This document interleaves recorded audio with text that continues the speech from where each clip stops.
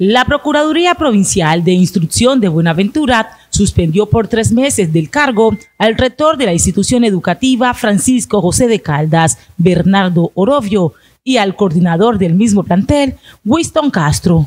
Además, se conoció que el ente avanza con la investigación a un docente que es señalado de encubrir y proteger a los anteriores ante presuntos casos de acoso sexual que se adelantaron en el plantel con estudiantes.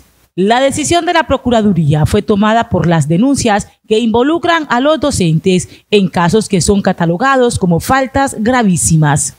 En estos hechos, que sigue investigando la Procuraduría, se estableció que fue notificada a la secretaria de Etnoeducación, a quien se le indica que estas suspensiones son por tres meses, no remunerables y ante las cuales no procede ningún tipo de recurso por parte de los afectados. Por ello, el ente territorial debe darle cumplimiento inmediato e informar a la Procuraduría del acatamiento.